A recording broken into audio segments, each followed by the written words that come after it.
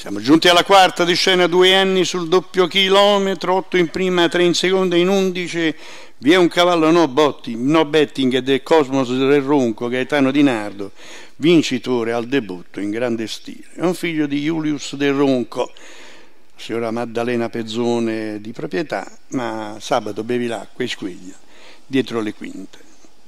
In salchi il solito Morgan Di Nardo. Allineamento completato, doppio chilometro, Puledri, via la macchina in velocità.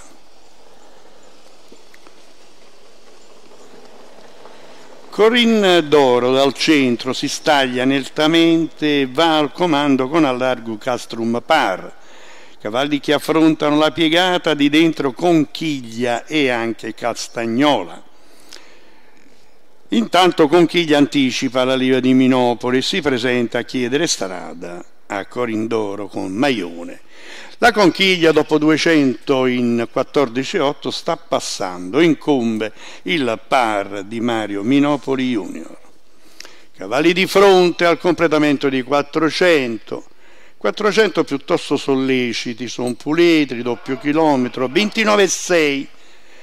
Ha avuto problemi il favorito e siamo sulla seconda curva con Minopoli che va a miti consigli e conviene quasi rimanere a largo e galleggiare. 45,2 600, non ammette interferenze il gatto Silvestro con, sua, con la sua jet conchiglia, Castrume al largo di Corindoro, poi il 4 di Castro e Leggei.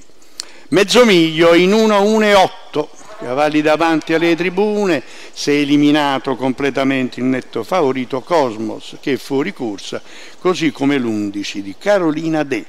Si completa e si chiude il primo chilometro nell'ordine del 17 e 2 e la Leben RL di Antonio Silvestri affronta da leader la penultima curva. L'andatura per questi puledri discreta, quindi non ci sono avventure né risalite a largo. 16, una tranquillità ora questa due trazioni impiegate. Solo Minopoli segue come un'ombra la leader.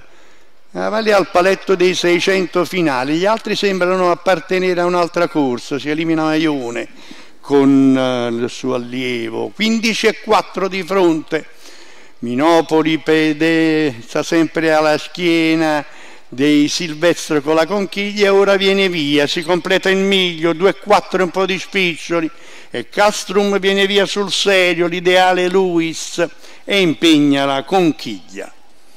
Cavalli al completamento della curva finale a fondo dell'ideale Luis del francesino che ci crede ci prova, appariglia, passa con facilità questo ennesimo ideale Luis, mentre vengono via il 4 e il 7, cioè Castro e Cuba Spab, come quanto vuole, come è cresciuto senza rotture questo allievo di Minopoli, Conchiglia buona buona e secondo, poi terzo è Castro e quarto è Cuba.